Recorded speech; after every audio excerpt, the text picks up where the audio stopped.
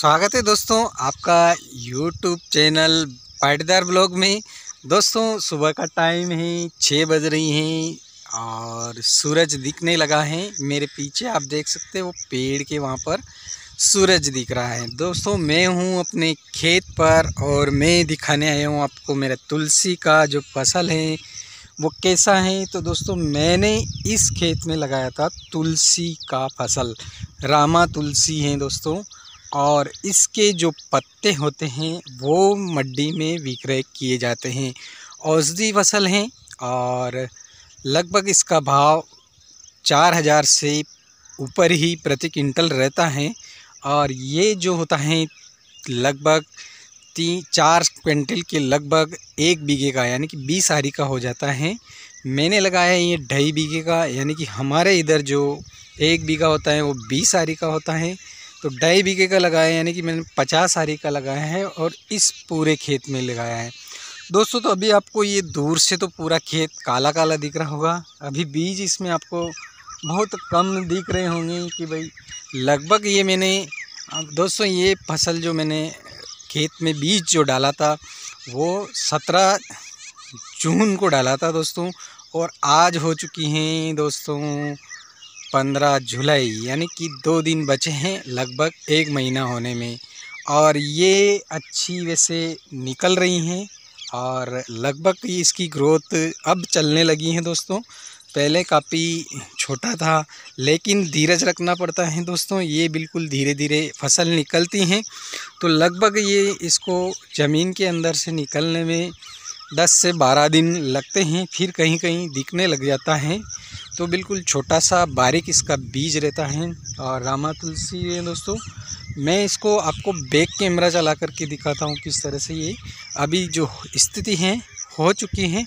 और दोस्तों, इसके लिए जो जगह जहाँ पे भी खाली होगी, उसके लिए जो जहाँ पर जो बीज एक साथ उगा हैं गुच्छों गुच्छों में या ज़्यादा बीज हैं तो दोस्तों उनको हम अलग करेंगे एक एक पेड़ करेंगे तो पूरे खेत में अच्छी तरह से आ जाएगा। वैसे मैंने इसमें सात किलो, यानी कि सेवन के जी फिफ्टी आरिस, यानी कि ढाई बीघा, जो हमारे राजस्थान के अंदर बोलते हैं ढाई बीघा, पचास आरी, एक आरी बीस बीस आरी का एक बीघा होता है। तो उसमें मैंने डाला है दोस्तों, ये देखिए फ़सल, और मैं आपको चारों तरफ़ का नज़ारा भी दिखा देता हूँ। बहुत ही बढ़िया ग्रीन हो चुका है बहुत ही हरा मौसम, सुहाना मौसम और बारिश का मौसम। बरसात अभी तक दोस्तों अच्छी नहीं हुई है, फिर भी शुरुआत अच्छी हुई थी। उसके बाद कल थोड़ी बूंदा बूंदी हुई हैं तो थोड़ा बहुत पानी हल्का सा गीला हुआ है खेत के अंदर। फिर भी फ़सल को थोड़ा जो कहते हैं ना आईसीयू के अंदर ऑक्सीजन देते हैं, उस तरफ़ से ऑक्सीजन मिली है। और बरसात तो वैसे आएगी डेली मौसम बन रहा है और रोज़ाना ऐसा माहौल बन रहा है, लेकिन बरसात अभी तक हमारे क्षेत्र में भयंकर अच्छी बरसात, तेज़ बरसात नहीं हुई है।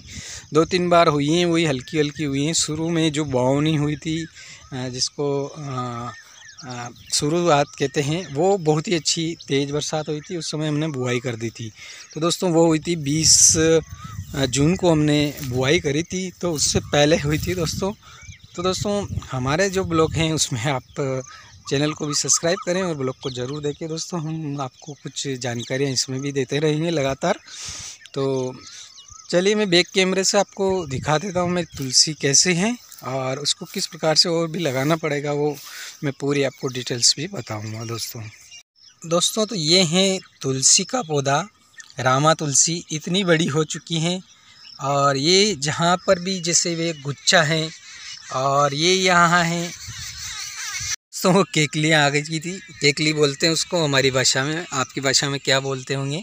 तो ये जो दोस्तों ये गुच्छे हैं, बहुत सारे तो थोड़ी सी और ये बड़ी हो जाएगी। वो जैसे गुस्सा है, इतना बड़ा एक जगह उग रहा है। तो इस तरीके से ये पूरे खेत में लगभग हैं। तो इसका पेड़ बहुत बड़ा होता है दोस्तों। तो काफ़ी बड़ा पेड़ होता है, लगभग जगह काफ़ी घेरता है। तो ये अच्छी तरह से बिल्कुल पूरे खेत में आ जाएगा। ऐसा नहीं है कि नहीं आएगा। मैं आपको और भी ये दिखा देता हूँ बहुत सारा। ये पूरे इस तरीके से हैं दोस्तों तो इसको काफ़ी निकालना भी पड़ेगा इसके अंदर से। काफ़ी पेड़ निकालने पड़ेंगे सिंगल सिंगल करना पड़ेगा। इतने पेड़ एक साथ नहीं हो सकते ये ये जो एक साथ हैं बहुत सारे तो इनको अलग करना पड़ेगा। तो थोड़ा बहुत खड़ भी हो रहा है दोस्तों, इसको खल, पहले हटाया, लेकिन वापस दोबारा से हो गया है। तो ये जो पूरा खेत है, इस तरीके से हैं दोस्तों। दूर से देखोगे तो आप काला काला ही दिखेगा, पास से थोड़ा दिखेगा। अभी छोटी फ़सल है, जैसे ही बड़ा होगा तो पूरा ग्रीन हो जाएगा दोस्तों। मैं आपको पूरे ही लगातार तुलसी खेती के बारे में जानकारी देता रहूँगा दोस्तों। तो बने रहिए हमारे यूट्यूब चैनल के साथ और हमारे ब्लॉग के साथ।